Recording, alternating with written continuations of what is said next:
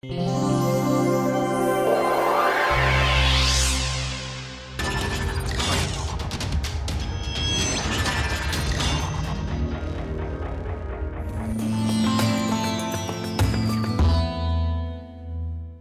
in today's class I will present to you a quick overview of the science of climate change, some of the aspects of uh, climate, weather, climate sensitivity, feedback and all that we have already seen on uh, the blackboard. Now, this will just give an overview and summarize the whole thing and the research which has been going on. Okay. So, I would like to acknowledge uh, the support of Professor J. Srinivasan of the Indian Institute of Science Bangalore with whom I have been spending uh, many of my summers the last 10 years of my research life for introducing me to atmospheric science and uh, for allowing me to use some information from his popular lectures. Uh, much, a significant portion of today's lecture is from his slides and he, he has agreed that has allowed me to use this. Okay. So, the earth's global mean climate is determined by the incoming energy from the sun, we already saw this yesterday and properties of the earth and its atmosphere largely the albedo, the reflection, absorption and emission of energy within the atmosphere and at the surface. So, if you look at the attributes and uh, attributes, spatial scale and main components and try to study both climate and weather these are with regard to these attributes, time scale as far as weather is concerned is a few hours or a days. Climate you talk you you generally talk about time scales of months, years and beyond. The spatial scale is basically regional, okay. Uh, the climate is regional and it can be global also. The main components the main component which of the earth system which determines the weather is basically the atmosphere, but the main components the, the main components which determine the climate are apart from atmosphere the land, ocean, human beings and so on. So, in simple English in simple terms climate is weather averaged over time the integrating period is sufficiently longer at least 2 weeks okay. So, what is climate change? Any long term significant change in average weather that a given region experiences. So, climate change means you, you take the averages and suddenly there is a change in the averages then you talk about climate change. The average weather includes average temperature, average precipitation and uh, wind patterns. So, this is the average weather in a particular place.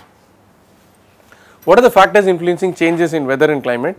The changes in average weather are due to variation in incoming energy that is the sun's radiation either the eccentricity is, eccentricity is changing or you have sun spots which lead to reduced temperature of the photosphere okay or the earth sun distance is changing for whatever reason okay. So then so there is variation in incoming solar energy the properties of the atmosphere and the surface if they are changing why the properties the atmosphere can change? Carbon dioxide can change water, water vapor can change methane can change. Why should the surface change? More ice can melt albedo can change and forest can be cut. The the green cover can be reduced, many possibilities are there. These changes actually alter the global energy budget. The global energy budget is how many watts per meter square, 239 watts per meter square is coming or 340 divided by 0.7, 342 is coming, what is happening to this. So, this uh, radiation budget if it is altered then it results in climate change. Why do you want to study climate science and climate change? Basically there are two things. There is first the scientific curiosity and there is also a need. First let us see the scientific curiosity. We want to answer questions like why is Venus hot? Why is Mars cold? But the earth's climate is just right for life. Why should it be so? Why should the earth's temperature be like this? What determines the onset and retreats of uh, ice sheets? Okay. Why is the snowball earth not taking place? Will the ice age return? okay apart from being subjects of movies the, the, we also want to we are curious in trying to uh, find answers to these questions and there is also a need what causes global warming and if you are able to identify what causes global warming can we put them together in a model and then project future scenarios based on some okay the world's uh, economy is going at this GDP rate or increased GDP rate the fellows will continue to burn fuel, fossil fuel at this rate, reduce rate, increase rate. So, you have various scenarios and project into the future. So, what will be the temperature in 2050, 2075, 2100, then you are talking about the science of climate change, not 2015 or 16, that means it is just a project, it is just an extrapolation. You are talking about 30 years, 40 years, 60 years, 80 years from now. How will the climate vary in the future? We want to be able to uh, understand and predict how we will how will how the climate will vary in the future. Why is the earth's temperature just right? Okay. The Mars has a very thin atmosphere almost all the CO2 is in the ground. Okay. So, since the CO2 is not there much in the atmosphere the average temperature is minus 50 degrees centigrade. If you go to Venus it has a very thick atmosphere it is containing 96 percent carbon dioxide because of which the average temperature is plus 420 degrees centigrade okay. Both minus 50 and plus 420 are not conducive for the sustenance of life, plant life and animal life. Okay. But if you look at the earth, 0.03 percent of carbon dioxide in the atmosphere which is like 300 ppm, now it is like 0.039 percent. Average temperature is plus 15 degrees centigrade. So, a lot has to do with the carbon dioxide. So, for carbon dioxide to form not only should carbon be there, oxygen should also be there. If enough oxygen has to be there, sometimes where is the oxygen coming from? We figured out that oxygen cannot come from photosynthesis alone. There is some redox, redox reaction which is taking place in the earth's mantle. We went through all this. So, there are theories of it. So, there is something called the abiological earth. The abiological earth, the oxygen was very less. Originally when the earth was forming, the oxygen was very less. Okay. And uh, this photosynthesis blah blah blah, we cannot, we are not in a position to account for all the oxygen or we are not able to account for the current oxidation state of the earth. So, we figured we solved problems you remember okay.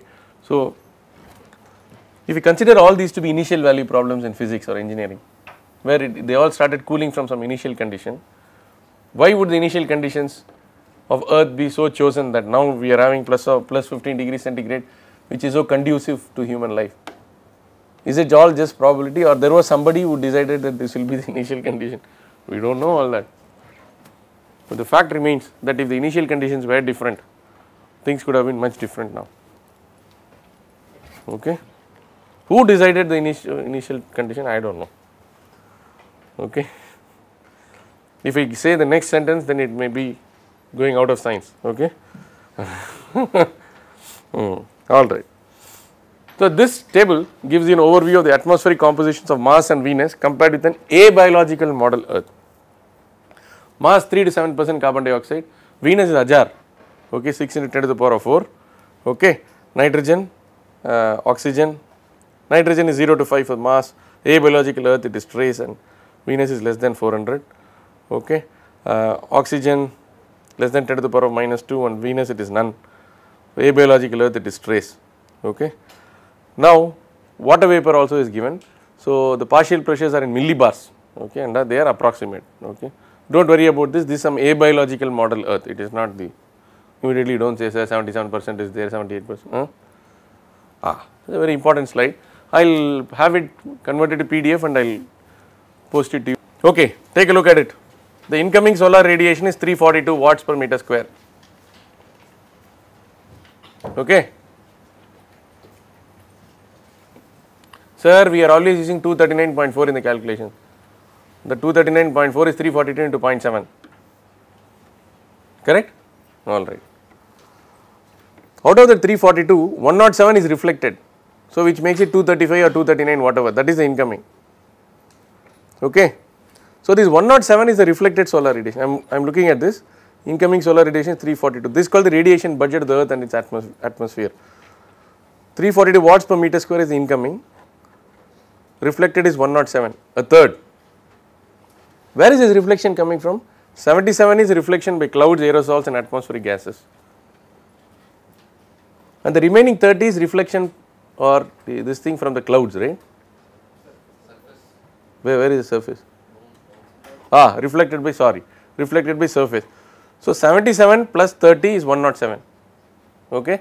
107 by 342 is basically the reflectivity all right then again this if 107 goes remaining 235 is there then 168 is absorbed then 67 is absorbed by the atmosphere 168 is absorbed by the surface.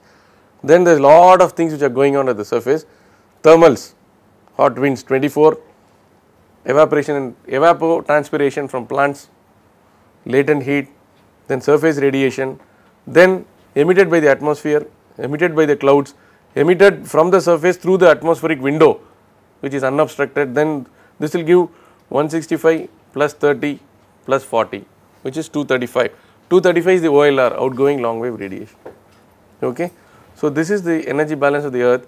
So, if the carbon dioxide concentration changes, if the aerosol concentration changes, if the incoming solar radiation changes, if the absorptivity changes, everything will change. If everything will change, the equilibrium temperature will change. So, we already saw how it will change 3.76 watts per meter square are required for 1 Kelvin.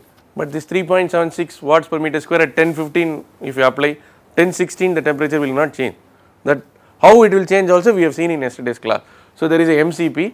I did not take the MCP of the atmosphere yesterday's class, we took MCP of some ocean mixed layer, but we figured out there are two parts to the curve, the response.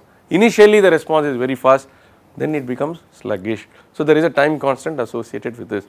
So, this q dash into lambda, the full effect will be felt only at that infinite time. This infinite time can be few months for an atmosphere, few decades or centuries or for a for years for ocean and centuries for ah, is it okay? So, we can keep on talking about this, but now I hope you got an idea incoming and outgoing balanced what are the various how you apportion it into various processes. Okay. So, this basically temperature versus pressure uh, equilibrium diagram. Earth is the only planet where water exists in all the three phases. Did you know that? Solid, liquid and vapor. Ice, water, water vapor. Okay. So, that is here. So, it can earth, it can be like this liquid water, ice and Venus. Venus is far here. So, everything is only water vapor. Jupiter, Uranus, Pluto, Mars, uh, Uranus all these are existing everything is existing in ice. Okay. Earth the habitable planet. Let us see why the earth is an habitable planet. The range of temperatures on earth has allowed the possibility of oceans to remain unfrozen during most during most of earth's history. Oceans as you have seen because of the large mass and specific heat are an excellent chemical and thermal buffer. If you dump your cooling water, uh, heated cooling water of power plants into the ocean, we keep on doing it because it is so big, its temperature is not changing much. That is the assumption. Okay. Earth's distance from the sun has allowed most of the hydrogen to escape. Have, we have seen that, right? This has allowed oxidation of minerals in the crust and the mantle, and this redox reaction is crucial for the abundance of oxygen which is of 21 percent or 23 percent depending on whether you do volumetric or a gravimetric analysis. Without this 21 or 23 percent it is not possible for sustenance of life. The earth also sustains an active hydrological cycle. Water gets evaporated becomes cloud then winds bring it back rain this thing rivers run off okay all these things are possible because of the temperature conditions also that it is possible for it to exist in three phases. The bigger planets are outer planets deflect away comets from the earth. The strong gravitational pull of the moon limits the obliquity of the axis of the earth's rotation, it is under control. It has a rotation rate just right to prevent extreme daytime and nighttime temperatures 24 hours on an average 12 hour day and 12 hour night. Active tectonics below renew the atmosphere every now and then some volcano goes into 6 and then it releases SO2 and this thing aerosols and then it is redistribute it, uh, it changes the concentration and also counters the effect of greenhouse gases you know that right. So, all these things are naturally taking place there is nobody to control it is naturally ha happening. Huh? The history of the global climate. So, past also the earth the earth's climate has gone up and down the idea is not to tell that uh, it has not gone up and down, yes it has gone up and down, but we have to look at it carefully. But we will present all the facts. So, there have been uh, times when the earth has been very cold, that there have been times when it has been hot. Okay. So, these are all various, uh, so this is the temperature versus time and uh, Giga annum is basically billion years, M is million, million years. Okay. Climate during mid Cretaceous, Cretaceous period about 100 million years ago, climate was warm during the age of dinosaurs. There are proofs, fossil, there is evidence to suggest that alligators lived in Siberia. Alligators lived in Siberia and dinosaurs have lived north of the 66 degrees latitude in Alaska.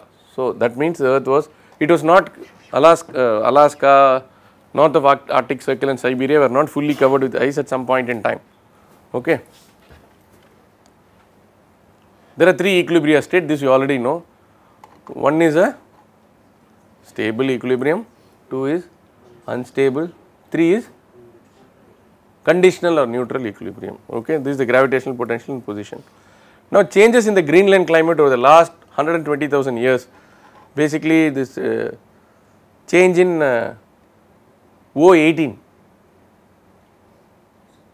O16 uh, is a normal, O18 is some isotope that can be used as a proxy for the climate change. There are various proxies.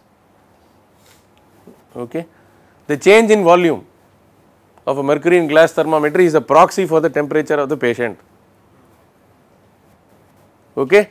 The change in height of the manometer column when the doctor puts it is, uh, is a proxy for the blood pressure. You are not actually measuring the blood pressure. That means you have to put two holes and put a pitot tube or a manometer and you are not doing that. So, you are he is putting some pressure and it is counteracting the blood pressure is counteracting that pressure he, they are cancelling out something and then he is finding out oh, so this, this is called the transducer effect you already saw that we all you already know about this.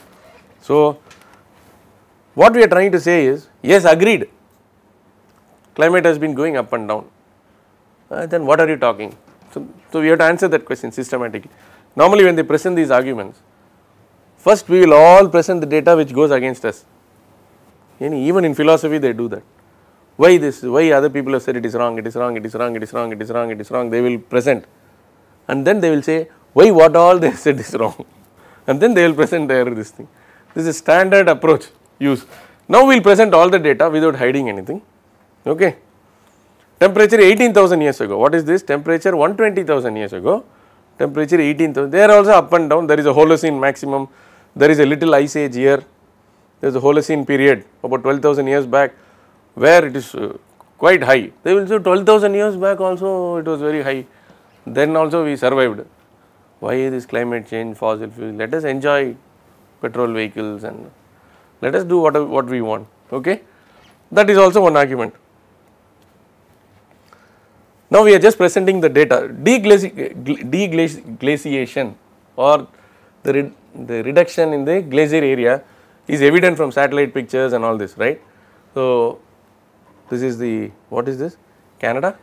Canada. So, you can see that this is not very clear. The next one is very clear. Uh, after some time, I will show you the Gangotri glacier. Okay. So, the idea of this is uh, basically glaciers also, glacier area is also shrinking. What about greenhouse gases? The greenhouse gases present in the atmosphere increase the absorption of outgoing radiation. We already saw that. The presence of the aerosols microscopic airborne particles reflects and absorbs incoming radiation and it changes the cloud radiative properties. So, these changes cause radiative forcing of the earth's climate system. So, the greenhouse gases and the aerosols act in opposite way. If there are more aerosols then they can counter the effect of greenhouse gases okay and aerosols are released whenever there is a volcanic eruption. Aerosols can also be induced can also be put into the atmosphere but that is going to be very expensive. That is geoengineering if you want to do that. If you want to engineer the weather and climate, so then it is called geoengineering. So, it will be very expensive. You have to go play, take some hundreds of airplanes and then fill the whole atmosphere. Okay. So, you can geoengineer a local weather. Chinese did, it for the Olympics and they removed the, they just dispersed the clouds.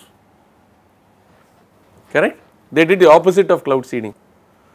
The changes in the solar radiation amplified many times with positive feedback. Now we have to look at this. Look at the circle.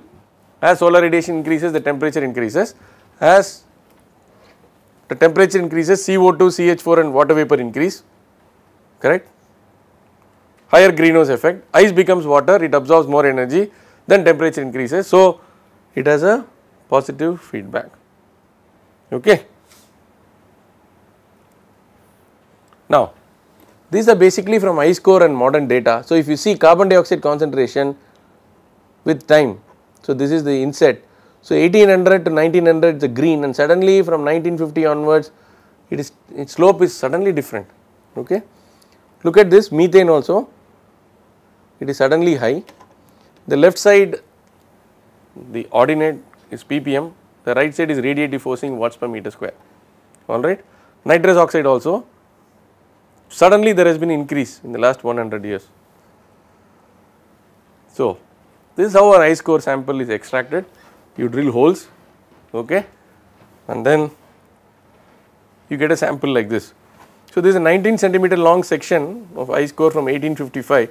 So, you can see that section contains 11 annual layers 1, 2, 3, 4, 5, 6, 7, 8, 9. It contains in between these 12 arrows 11 layers and uh, with summer layers sandwiched between darker winter layers. The summer layers are these white ones, winter layers and so in any section you can find out, you, you can find, you can look at the air trapped and then you can measure the concentration of various gases in that air. Okay. Okay. So, if this is the depth, if your y axis is the depth of the ice sheet, this is the surface, here air freely moves through ice. Then between 50 and 50 meters air diffuses slowly through ice, but below 50 meters air is sealed firmly in ice. So, if you know the rate of deposition as you go deeper and deeper the height the depth to which you go has a direct correlation with the age with the year and then you take an air sample and find out the carbon dioxide all, all those things uh, oxygen nitrogen and all that that is uh, that is a proxy for the atmospheric air which existed at that time and which was covered by this snow and ice. Okay, this is a well accepted uh, procedure. Okay, so these are recorded in Vostok ice cores. I think Vostok is in Russia. Yes, Vostok is in Russia. So these ice core data, some five colors are there. Okay, deuterium is a proxy for local temperature that is in blue color. Carbon dioxide is in black color. Methane is in red color, the dust is purple, the green line is a measure of the Chinese loess deposition, loess deposition is the wind this thing. I have shown you something no, this is somewhere in Mississippi.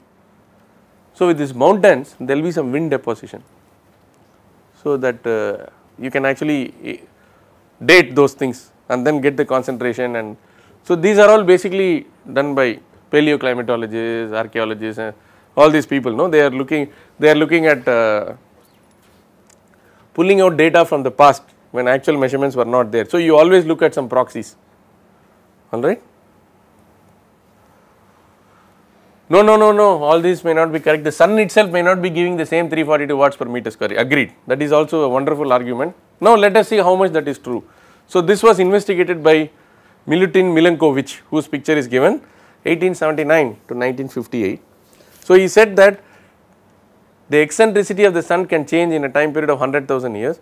So, it can have low eccentricity or high eccentricity okay and the tilt can change once in 14, so 41,000 years.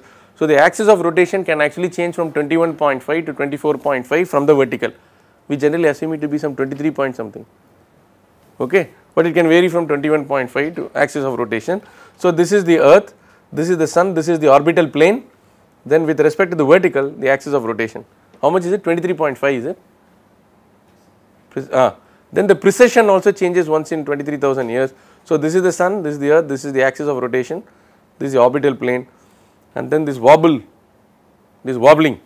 So, the spinning top, so this also changes. So, the cooling and warming during ice ages and interglacial periods however was far greater than would be expected from the tiny changes in the solar energy reaching the earth. So, if you assume all these Milankovitch hypothesis all the and then change the 342 watts per meter square, run a model and find out for thousands of years what will be the change in climate. The climate change which is actually observed vis-a-vis the climate change which is proposed by which you get from running the model with changed solar loading, solar input based on the Milankovitch hypothesis, they are not matching. That means it you cannot attribute all of the changes in the earth's climate to just the change in the eccentricity and all that it has a forcing of some 0.25 watts per meter square or something. Okay? Oh, all right. So the levels of atmospheric carbon dioxide are going like this. If you plot from 400000 years ago which is coming from ice core and all that so you can see that the concentration has increased dramatically if you look at the temperature anomaly so uh, annual average is given by this uh, lines connected by dots and then the thick lines are the 5 year average, you can see suddenly from 1918 onwards there is a red line whose slope is very very high. okay, it is positive, okay. It is very very high. So, you may argue some 19 to 1940 also something was there, but already some explanations have also been given. In the interest of time I am not going through that. Ah, this we have already seen, this is Mauna Loa in Hawaii. So, you can see that there is a dip and the rise basically because of the summer and the winter. Summer, spring and summer lot of plants are in full bloom. The photosynthesis activity is there during summer that is subdued during winter. So, there is a cycle and uh, you can see that the concentration now 380 390 ppm. So, this is atmospheric CO2. Superimpose this atmospheric CO2 with the global temperature we are it is most likely that the two are very strongly correlated. And actually if we run the radiative transfer model with CO2 concentration this is also confirmed. But there is very important thing which we have to be very careful is we should not suffer from what is called the fallacy of the single cause. Fever is only the effect. The fever may have 100 causes. A good doctor should get the correct cause. So, he has to run some algorithm. He will either run some test or he will say whether you are having cold, you are having cough, you are having stomach ache, this thing. So, he runs some algorithms. So, we will have to, so essentially diagnosis of a fever is a ill, ill posed inverse problem. We have to find the cause that is only the effect. Like this the climate has changed. So, we are trying to ascertain the causes so that if there are some causes which can be changed and we can slow down this, we want to be able to do this. That is like responsible engineering or responsible science. Okay? That is why Milankovitch all this we are seeing so that we are not accused of this bias of this falling under the trap of the fallacy of the single cause. That means over generalizing everything and trying to ascribe one cause to an effect or there may be cross correlation between the various causes. First you have to list out x1, x2, x3 to xn. Why, how are you say y is a function only of x1, correct? So, that is why there is something called losu, okay.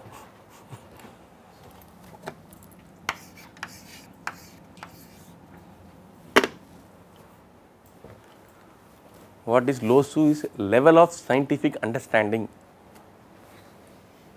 Now, the level of scientific, the losu with this is high, losu with water vapor methane may not be high. Carbon dioxide strong correlation losu is very high. Okay? So, that is why the IPCC the Intergovernmental Panel on Climate Change when they are ascribing various causes they are saying they will put one column called losu column very high, high, medium, low that means the confidence with which you declare this. Otherwise, it is not proper science are you getting the point. So, remember this losu alright. Hmm.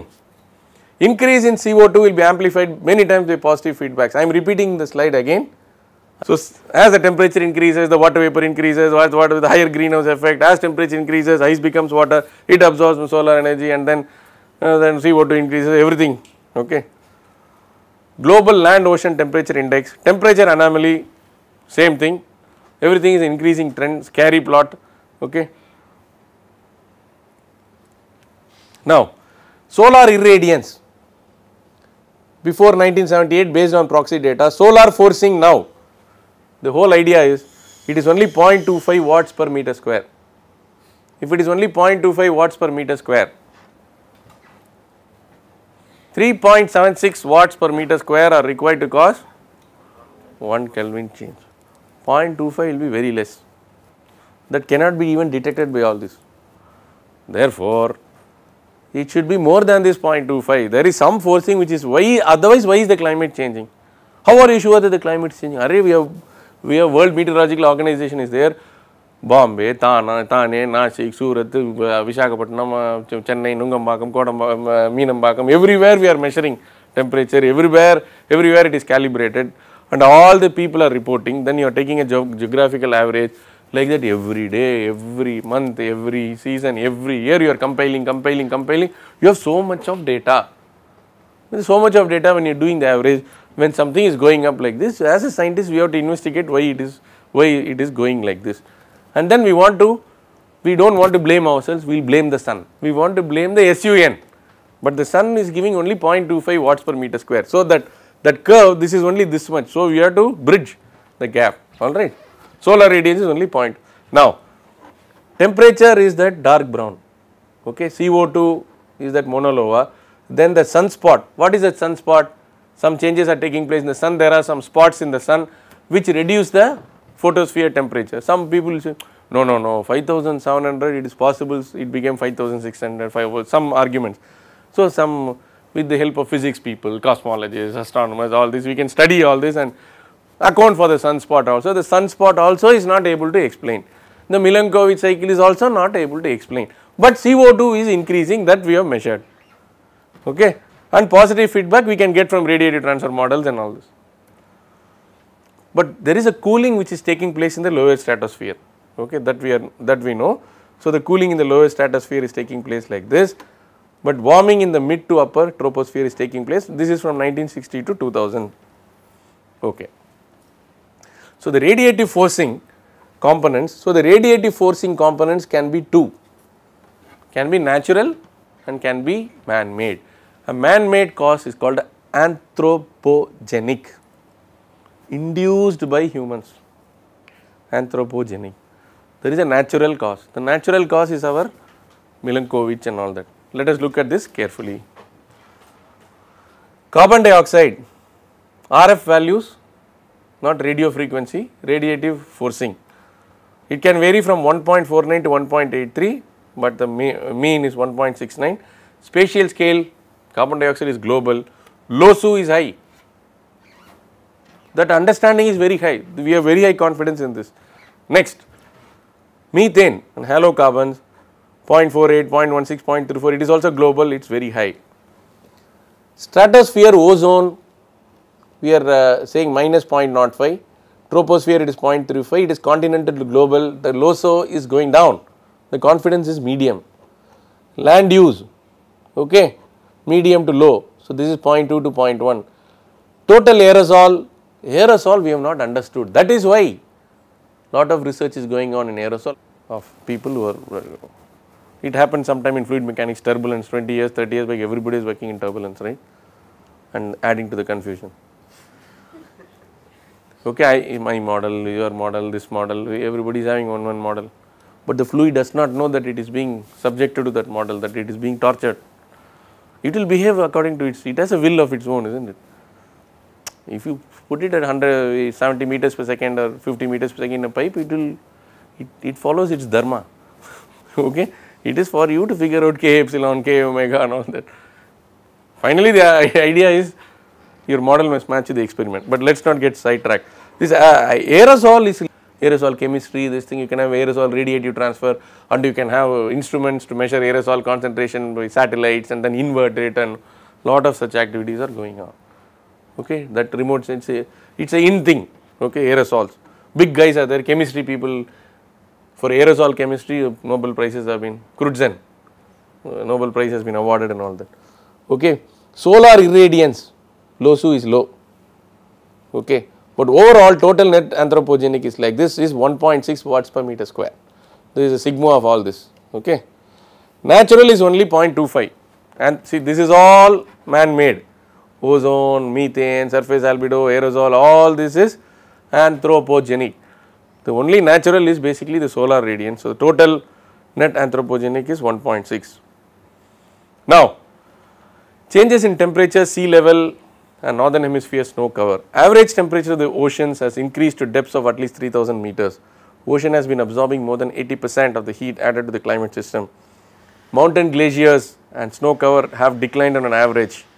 We know what happened in Kedarnath, okay, but we do not know whether it is directly attributed to climate change, but these disaster type events are increasing.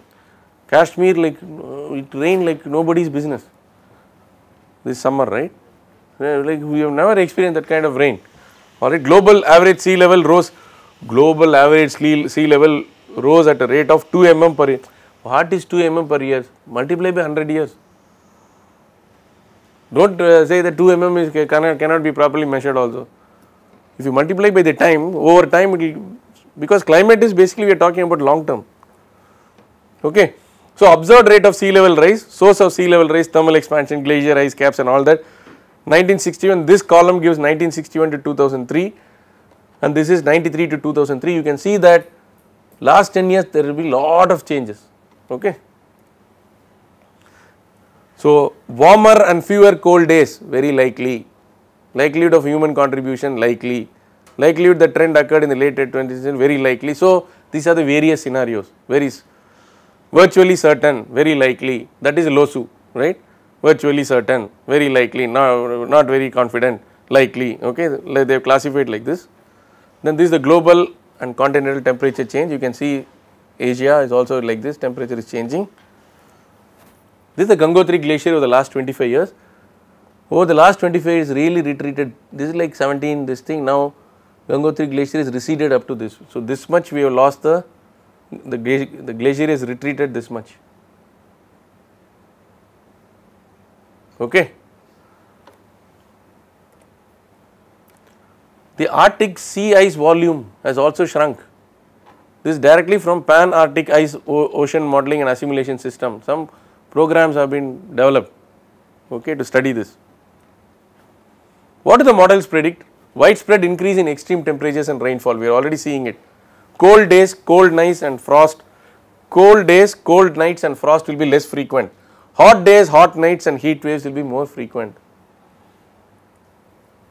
This is a paper by Goswami, Professor Goswami and others from the Indian Institute of Science Bangalore which appeared in that uh, journal Science where they are saying light to moderate rainfall events will decrease, heavy rainfall events will increase and very heavy rainfall events will also increase.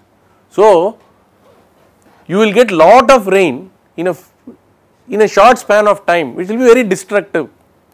That is what uh, happened in Kedarnath again in that same Kashmir, that same uh, Chennai what it is raining now it is very nice.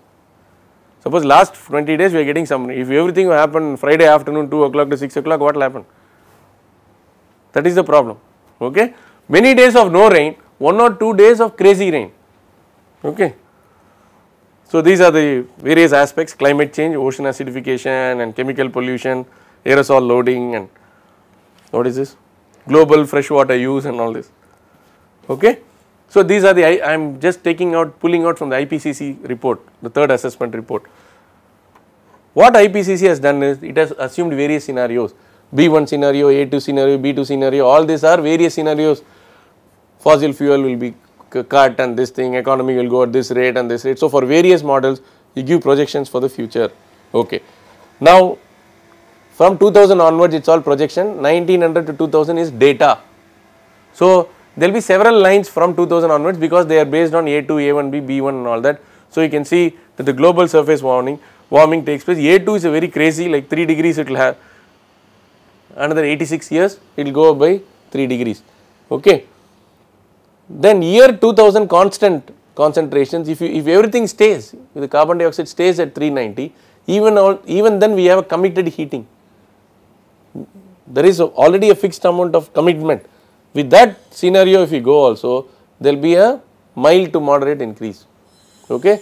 So you have to take a call. Governments have the world has to take a call on which of the which of these scenarios we will follow. That will decide the fate of the climate in the year 2100 okay.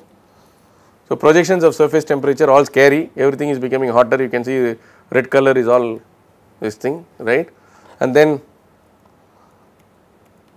projected patterns of precipitation changes you can see that white areas are where so this will be A1B right. So this you can see that uh, is multi model that means you run several climate models and take an average okay it is like an ensemble model ensemble forecast.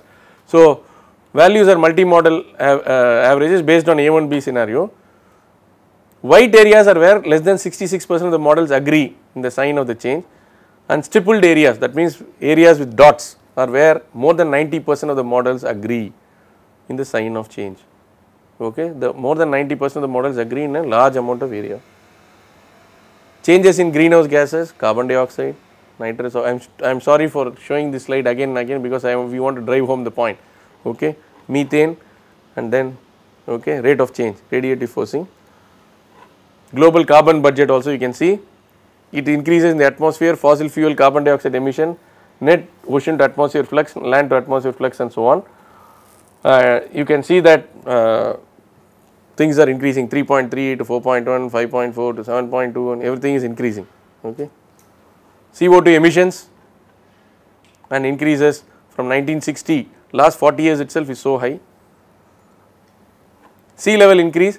So, basically 1870 onwards we can recon we have reconstructed the fields. Tide gauge me measurements, you have tide gauges to measure, they are available from 1950. Satellite altimetry is available, you can measure the global mean, level, mean sea level from the top of the atmosphere and that is in black. So, everything is they are all falling in one place. Okay. So, this is a probability of occurrence, this is a very scary picture. The old climate is the left hand side, the previous climate is like this. Now they are saying because of climate change and all that, this equilibrium is shifted to the right. If it is shifted to the right, left side is cold climate, middle is average, right side is hot climate. So the cold climate is decreasing, this curve is moving to the right, is that okay? You are able to follow that? So this less cold weather, more hot weather, record more hot weather okay this is the likely scenario so uh, the the above schematic of the pdf the probability di distribution function illustrates that a small shift can ha can have the frequency as the effect of a small shift even a small shift can have lot of effect in the frequency of the extremes. It is only a small shift what will happen. What will happen is the extremes will and the extremes are these catastrophic ones. Orissa super cyclone, Bombay rain, Kedarnath rain, Jammu and Kashmir rain and so on. Okay, the two, alright. Okay, FAR, SAR, TAR observed is what? First assessment report, second assessment report, third assessment report of the IPCC, Intergovernmental Pan Panel on Climate Change. So, after all this, now you can see that the commitment, if you stay with the commitment also the temperature will increase, but if in any of these scenarios now you can see that with respect to the observed observed is only up to 2005 you can see that many of these models are agreeing and you can see that uh, it will by 2025 itself you can see some 1 degree change global mean warming. So, we are looking at the global mean warming. So, to summarize what are the key findings current atmospheric concentration of carbon dioxide and methane and their radiative forcing far exceed those for which we have records or we have extrapolated or whatever backdated for the last 650,000 years. Sustained rate of increase in radiative forcing from the greenhouse gases over the, over the past 40 years is larger than any time during the last 2000 years. We have seen consistently seen plots 1960 to 2000 it is all showing a steep increase. It is virtually certain that man induced aerosols produced a net negative forcing which is good news okay and they are more in the northern hemisphere than in the southern hemisphere because northern hemisphere is more developed okay. Global mean surface temperatures continue to increase rise 11 of the last 12 years rank among the 12 warmest on the planet since 1850. Changes in surface temperature extremes are consistent with warming of the climate. Droughts have become more common especially in the tropics and the subtropics since 1970. Amount of ice on the earth is decreasing the rate of mass, lo mass loss from glaciers and the Greenland ice sheet is increasing. Ice thinning occurred in the Antarctic Peninsula during the 1990s. Tributary glaciers have accelerated and there has been a complete break of the Larsen B ice shelf. This you can look up the wiki. Larsen B ice shelf something occurred in 2002.